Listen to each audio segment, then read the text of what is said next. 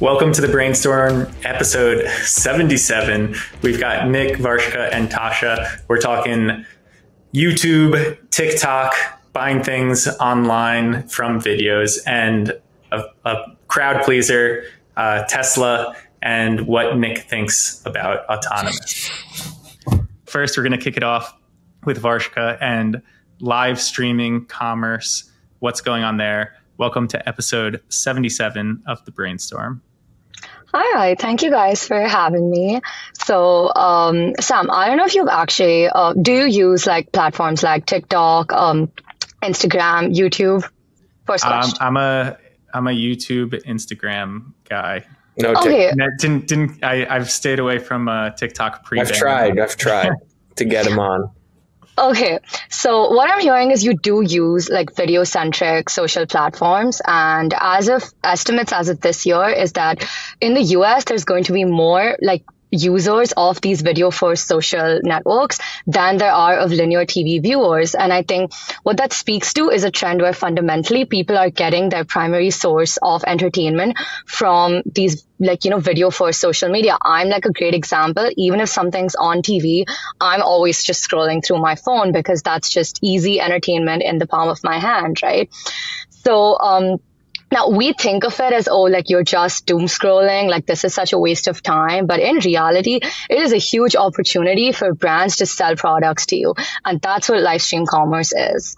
So is there a uh, QVC of live stream? I know in China, certainly, but it, you know, the question I have is, this is switching over, but are the old people who buy stuff on linear TV still dominating the spend, or is spend also shifting? I imagine it lags views, but well, yeah. So I think QVC is like a great example. I think, and that's also why I feel like this format is not foreign to both like older users as well.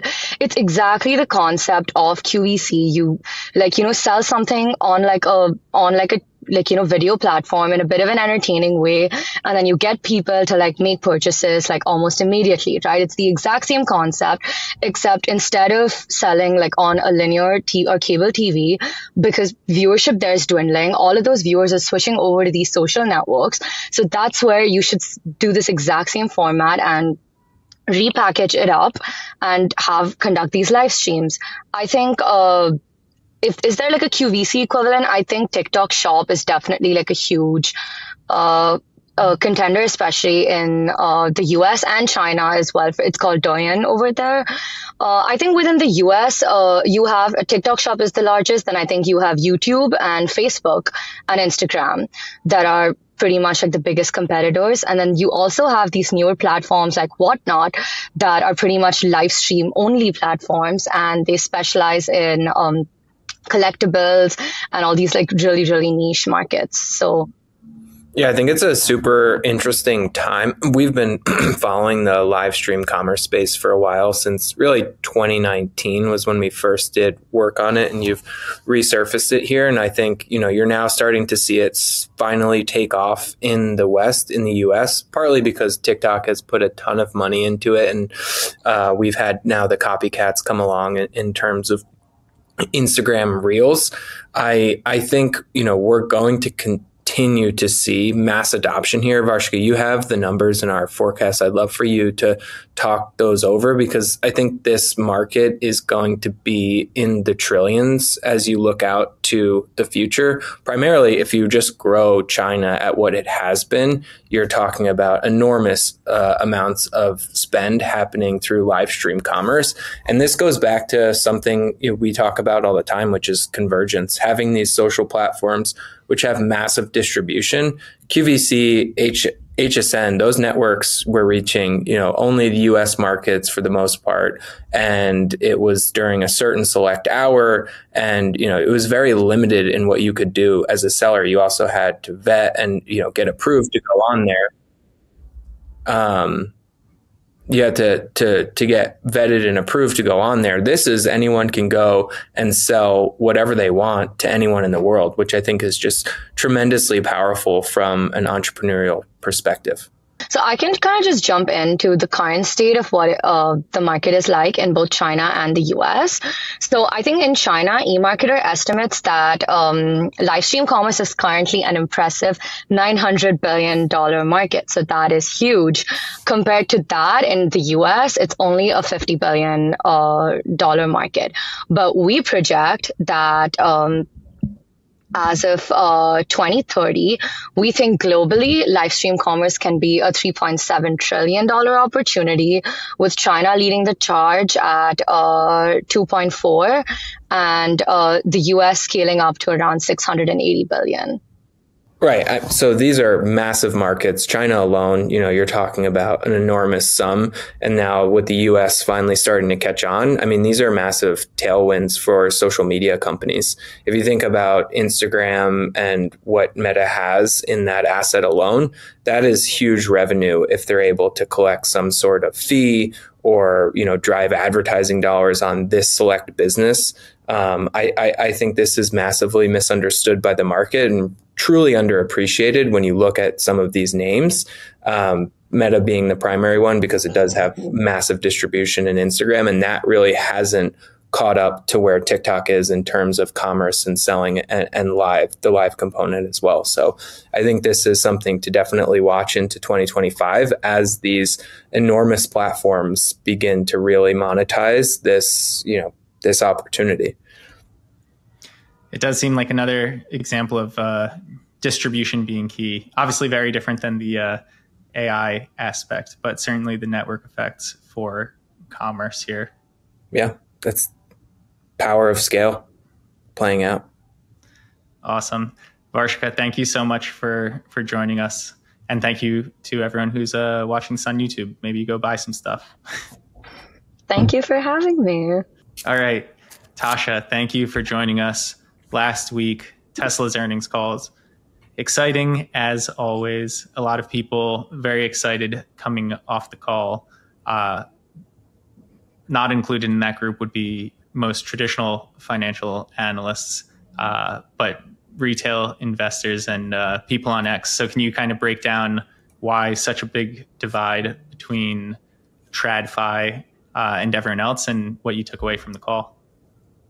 Sure. So o- overall, um, even though the results missed expectations, we saw the stock appreciate, and it seems like it's largely um, because of, of what we've been excited about over the past five to ten years, which is the really we should call it the AI opportunity now, but it's kind of all encompassing. It's it's autonomous driving. It's then moving on to humanoid robots.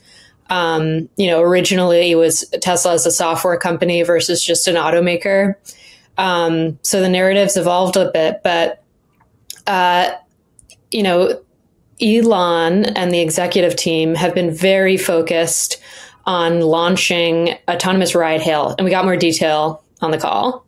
Um, so we heard that they had they plan to launch in Austin uh, in June this year. So that's pretty huge. So, Nick, I know your opinion has changed about this in the past, say nine minutes, but what what do you think? You know, Elon said it before. Uh, you know, we're going to launch commercially. We're going to launch. We're going to launch.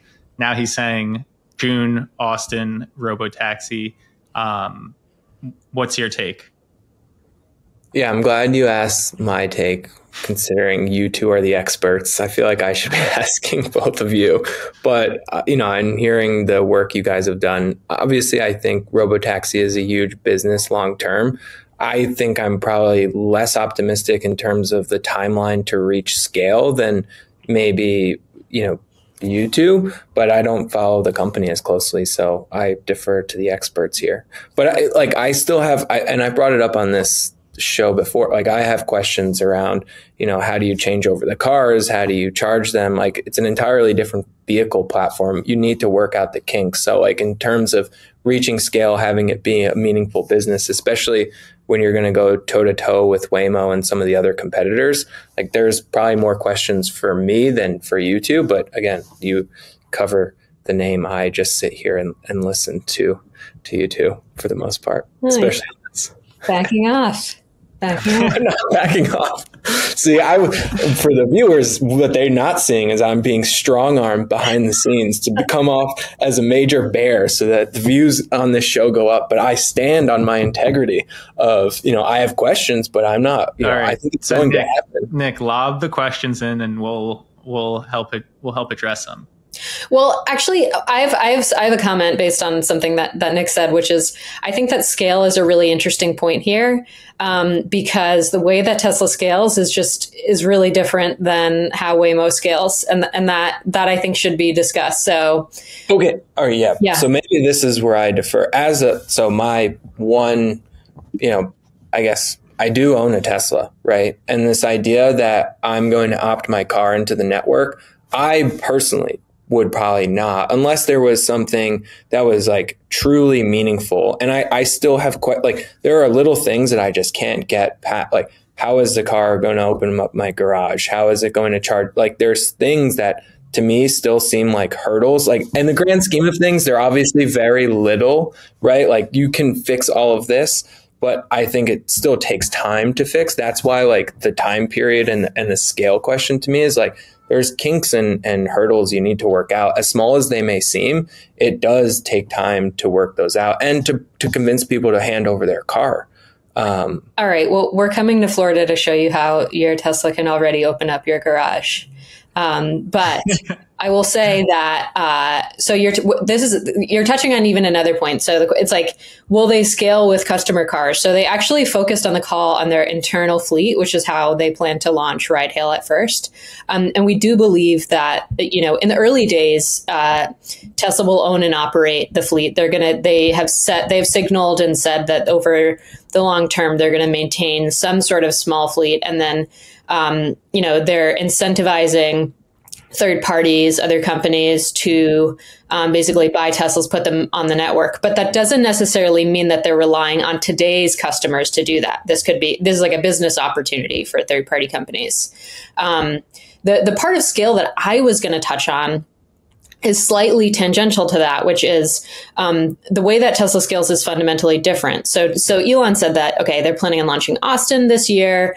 Um, you know, many cities, hopefully by the end of the year, they'll have unsupervised activity. So that means that basically, like FSD. Uh, Full autonomy works. That's what unsupervised means. You don't have to monitor it as a driver.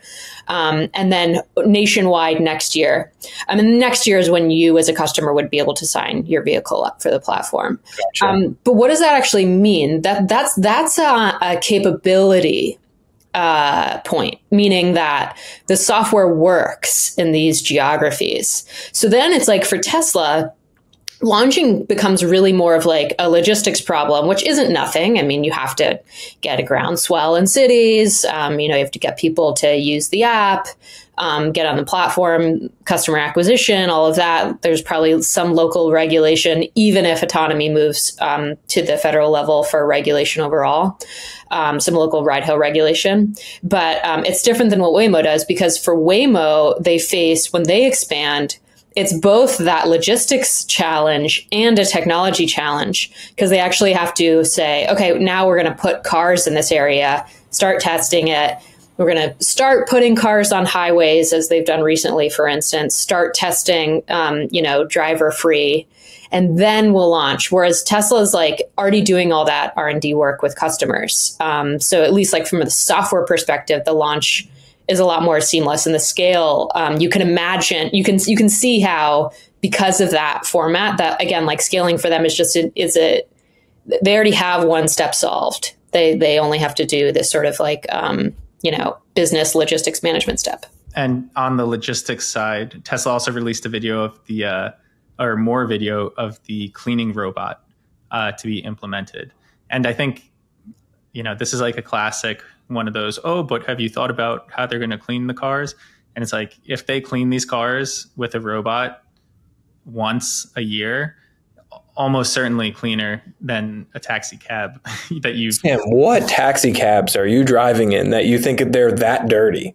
I'm, I- I'm telling you I think you're you you may be pricing yourself into. I was in I was in, in an Uber in That's a crazy South statement. Western in I will not let you get away with that. I, I was in a Uber in Florida, and an ant fell on my head from the An roof ant? of the car. Yes. You've And never was- been we were on a highway. a I bug? couldn't get out. I couldn't I'm- get out. I'm totally on Sam's side. Like, especially once a year. All right, we're Oh, no, getting back gonna, down. They're, they're gonna there's clean it. not regulations over cleaning. Yeah. They can do No, whatever. I understand that. I understand that, but But once I'm a saying year, Tesla cars are going to be far cleaner than the average Uber or taxi cab that you get into. And on the robotic side, right, another exciting point of the call, a lot of talk on Optimus. You know, we're far more conservative than Elon is um, on the ramp. Uh, but he said, you know, their internal ambitious goal is roughly 10,000 robots by the end of this year. So maybe they get to a few thousand or half of that uh, if they come up short, and then kind of scaling an order of magnitude per year after that. Uh, although, you know, also noting that a humanoid robot is a thousand times harder than the autonomous vehicle. Uh, but what makes it all possible is really the learnings, this real world AI. And I think another thing that ties into the kind of mismatch in expectations from traditional finance and everyone on the technology side is there does seem to be a weird dynamic where everyone's very excited about AI and then can't kind of cross the bridge to real world AI. It's like everyone's so excited about DeepSeek and all of these models and then like can't go the one step further to be like yes, this means that like robotaxi at scale is right around the corner. And I think to me that's like one of the most visceral disconnects in the market right now. Well, it could it could be different companies that are, you know, the, the companies of today that are great at software based AI may not be great at real world AI. And I think I think that from an investor perspective, it's um, it's it's perceived as more risky because because it's hardware based. Like it becomes you know also a capital in, intensive endeavor. Um, of course, if you're a company like Tesla, that's you know less of an issue, right? Um, because they have cash that's coming off their um, electric vehicle line, and they were you know smartly like one of the first companies to be profitable on EVs, and now they can use that to build these other businesses. Not everyone has that that luxury. And one thing, you know, as I say this now and think about when we're recording this, our big idea is just published. So everyone should go download that or look at the X posts where people just post screenshots. Just kidding, Ben, who's listening as a producer. Everyone has to download it. You can't see it any other way. Uh, Tasha has a great section on on robo taxis. Um, and Nick and Varshika have a great section as well. Nick, you want to do a quick pitch of your section?